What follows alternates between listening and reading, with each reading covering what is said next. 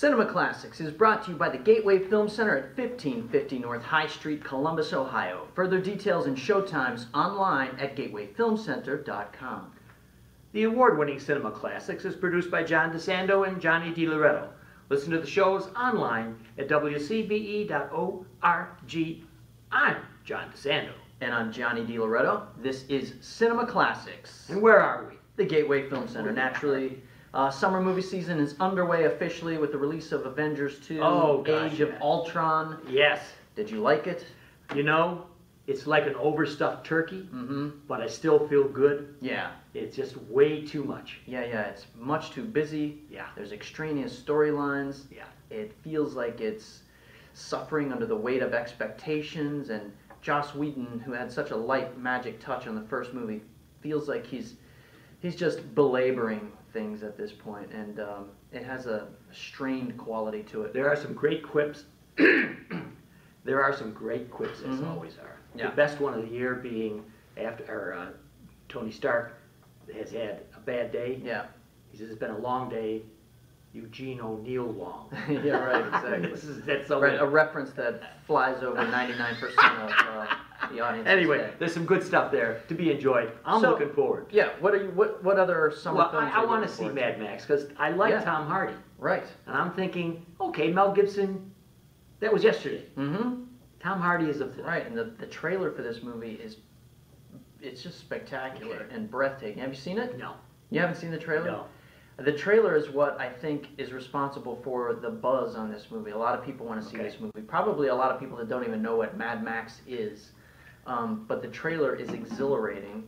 George Miller, the original director of the uh, the franchise, um, returning to his um, commercial success here, and uh, promising that this movie is essentially a non-stop chase from beginning to end, which sounds exciting. So I'm, I'm in. I want to see it too.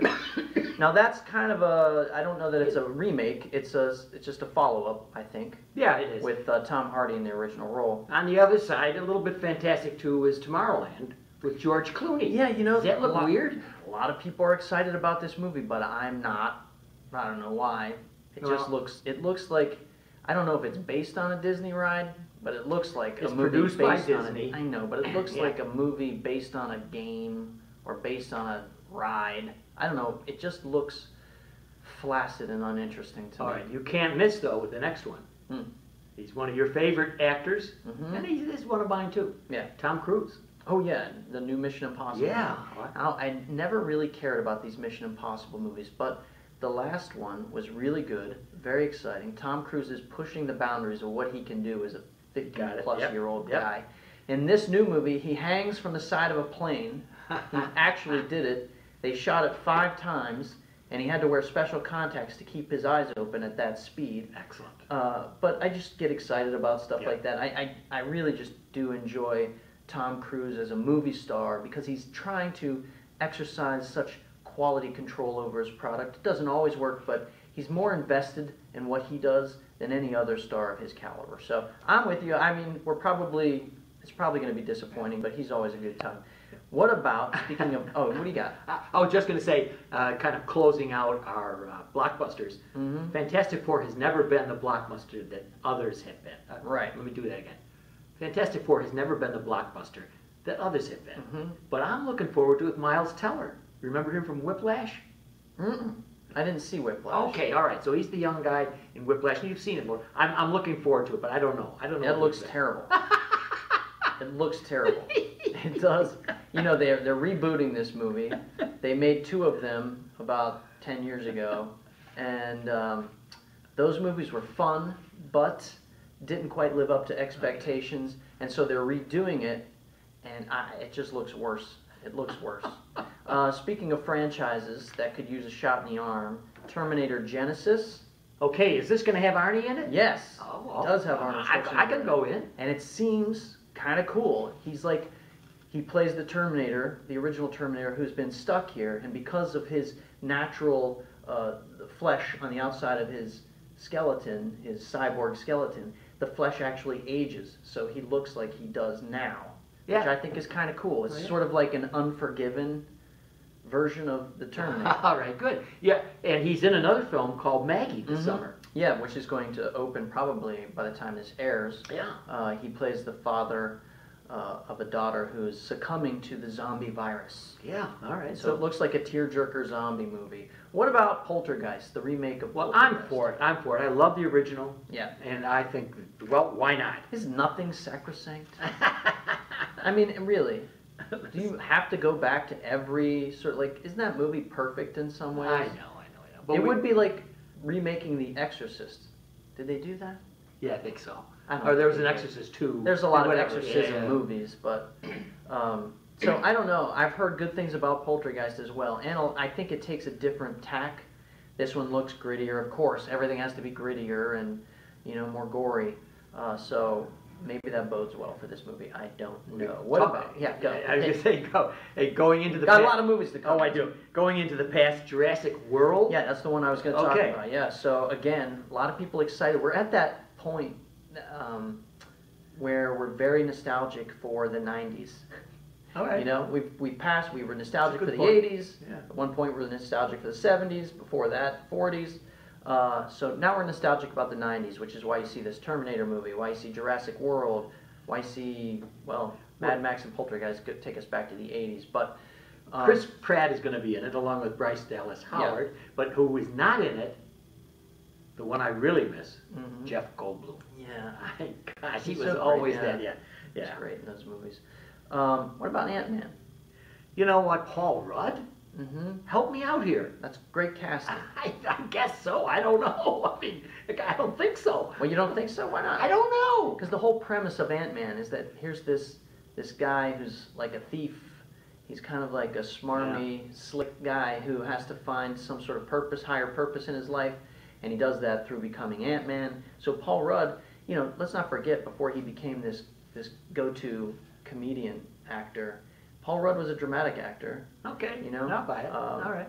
Okay, so- I'm looking forward to it. That could be fun. Uh, but you know the one I'm really looking forward to. I know you're kind of, you're just not on top of Woody these days. No, no. But yeah. Woody has Irrational Man coming. I saw that trailer with Joaquin Phoenix Yes. and Emma Stone, Yeah. and I was intrigued. All right. And I- I'm, I'm down. Good, If, yeah. if, if you go see it first and you tell me it's worth seeing, I'll, I'll see it. But I probably won't just. Look, you know he's going to be a stand-in for Woody. He's a college professor falling for the young student. He can Probably. But I like the whole like he's super depressed. Yes. and- Oh, really? Is it? This is, yeah, it looks it looks like something I can relate to right now. And I'll have to tell you, Mia Wasikowska is in Madame Bovary, Mm, and that's not definitely not for everybody. no. But I am anxious. To Nor see is. Far from the Madding Crowd, but I've heard heard good things. Are you kidding me? That's a beautiful movie. Did you see it? Yes, if you've seen Tess of the D'Urbervilles, or if you saw Ju- Julie Christie in the original Far from the Mhm. Madding Crowd, Emma Watson, Yeah. Emma Watson, Right. very good. Uh, so it's lovely, beautiful shots, and she's a great heroine. Great. She said, when she's propo- first proposal, she says, "Why should I be a man's property?" Oh, right, this is 1870. Yeah. She's way ahead of her time. Way ahead anyway, of her time. I like it a lot. Written Uh, by a man. Well, I know Hardy But- had a good insight into women. Wait, that's which one are you talking about? Is that Madame Bovary? No, Far from the Madding Far from the Madding Crowd. That was uh, Hardy. Hardy. Yeah. Thomas Hardy. Yeah. Here's a movie I want to see just based on these. Like, there's no description here on this piece of paper. Right, right. I just want to see this movie called Criminal with Kevin Costner and Me Gary too. And I didn't look it up. And I looked at it, I got it written down, you're right on. I said, I have to see him. And Gary Oldman. yeah, I know. Kevin Costner and Gary Oldman in a movie called Criminal. Which one is the criminal? so I had the same. Now, you know, Yeah, go ahead. talking about going back in time, Mhm. we have another iteration. I shouldn't say another. We have a, a sequel to Crouching Tiger, Hidden Dragon. Yes, and you know what? Look right here. I have a big fat X next to it. Okay. Because I couldn't care less. No one is waiting for the sequel to Crouching Tiger, Hidden Dragon. No one cares. I do. It was overrated when it came out. I out. loved it. Uh, No it's a one ever ballet. turn, no one cares about it. and It doesn't turn up on television, and you watch it every time you see it. You just don't care. It could have receded into our distant memory, and we'd all be the better Listen, for it. it's over the cultural divide. I don't know. yeah, I mean, I, it's what am I Asia. going to bend trees and like walk They're on gonna dance leaves? in the air. and- And uh, anyway, Michelle Yeoh is a favorite of mine. Mhm. So we'll look and see. But one I think Does You she beat people up with her walker your- in this one? and your boys will probably go to. My boys. Oh, my boys. My actual. Your, your actual boys. Children. Yeah, your children. Which one? Minions. Oh yeah, yeah. Zach. From oh, the. Despicable Three franchise. Right, Despicable Me franchise. Although this would be the third one, so I guess you're right. It's Despicable Three. Nice. That's how they should market that. You should get paid, John. I know, I know. You should be paid for that idea. Despicable Three. um, you know, there are so many interesting uh, films here. Like, obviously, most of these films will just either bomb or Yeah. they'll just pass without a without any notice. Here's one that I think is really interesting. I just looked the trailer up on it. It's a documentary called "Do I Sound Gay?" Oh, all It's about a guy, a, a gay male, who is becoming aware of his voice and the way um, gay men typically speak, or atypically, or, whatever, Stereotypically. stereotypically speak. Yeah. And so he examines whether or not there is an essential quality to the gay voice. And I, I thought that looked really interesting. And we didn't have too many uh, documentaries. And I can't imagine that being longer than 20 minutes. Uh, there are a couple of others, just throw them out there. Aloha, mm-hmm. Cameron Crowe's. Cameron Crowe, I mean, still, still, still riding the waves Almost. of, of goodwill from Yeah. from his earlier work from Say Anything and Jerry Maguire and Almost Famous. Yeah. The guy hasn't made a good movie in He 20 years. But he has Bradley Cooper in this one, so maybe it's going to help him I out. don't know. And it's going to be, probably going to be depressing. What is it about? It's about uh, some kind of a, oh, I got it here. Uh, Uh, that doesn't say. Yeah, it is. He's a defense contractor, and he uh, hooks up with a pilot. Hmm. I don't know. Yeah, it sounds fascinating. Aloha. And uh, Sounds like a real box office smash. How, here's one Yeah. that I don't know much about. Slow West. Slow West. Yeah, that, that does look really good. It's a, a western, which we don't get too many Yeah. of these days, and it also looks like it's a good smart western um, with Michael Fassbender Yeah. as a uh, as a really tough talking, slick gunslinger, and it looks interesting. I'm not sure what the premise is, but um, the trailer is compelling. And you know something? If you could spare me the time in a few months and come back, Mm-hmm. we can talk about what we had. Yeah, That we can. we can. Yeah, Yeah. well, we can look back on on the summer. It's always good. There's so much exciting product that comes out. Yeah. Um, you know, you get excited for everything. The summer is about anticipation and spectacle, and sometimes when you look back midsummer, you're surprised. Some things surprise you, other things don't. So uh, let, let's revisit And we can look back and see how many billions of dollars we cost the industry by our discussion. Oh yeah, yeah, right. Because I'm sure we turned off thousands.